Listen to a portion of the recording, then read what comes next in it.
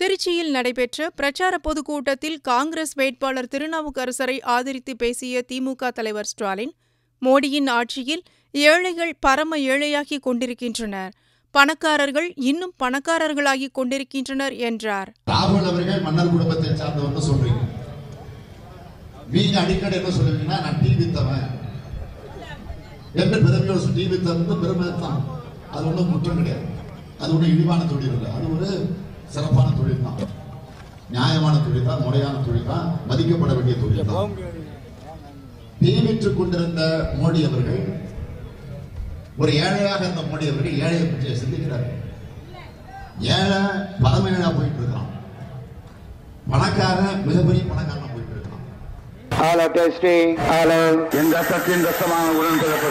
என் உயிரினும் மேலான அன்பு உடன்பிறப்புகளே செய்வீர்களா? நீங்கள் செய்வீர்களா?